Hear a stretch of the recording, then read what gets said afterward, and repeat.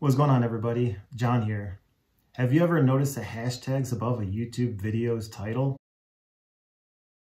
Like this? Well, they're simple to add and they could be beneficial for growing your brand, whether it's personal or business branding. So stick around and I'll be showing you guys exactly step by step how to add these YouTube hashtags to your videos and what exactly they're for. Stick around.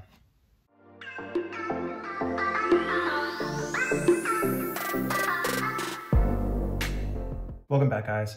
So your first question probably is what are tags and do I even need them for my videos? So let's go to YouTube and get their definition of what tags are. Tags are descriptive keywords you can add to your video to help viewers find your content. Your video title, thumbnail, and description are more important pieces of metadata for your video's discovery. These main pieces of info help viewers decide which videos to watch. All right, guys, so before I show you exactly how to implement these hashtags above your YouTube video title, I just want to real quick summarize what YouTube definition of hashtags are.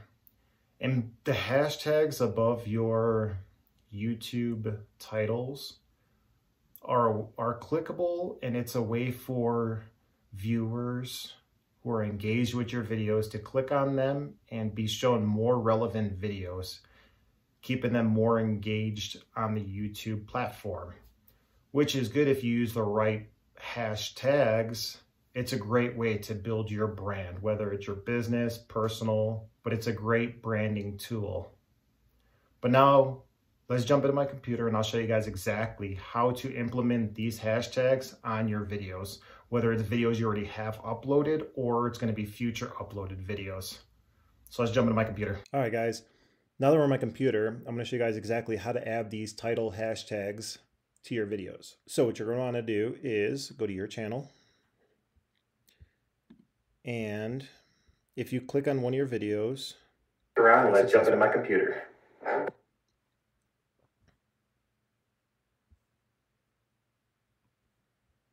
Click on edit video.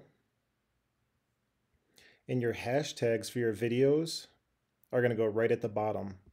So I'm using for this video, I'm using the hashtags Mac screen recording.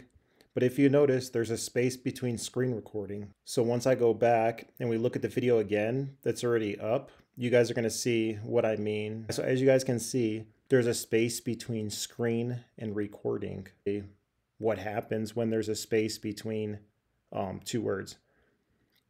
And then also I'm using QuickTime Player. So you can use three of the, the hashtags above your video. YouTube, you can add more, up to 15, but YouTube will pick the most relevant ones. So I only use three with this one. Um, like I was saying before, no spacing, and you're going to see why in a second. So if we go back,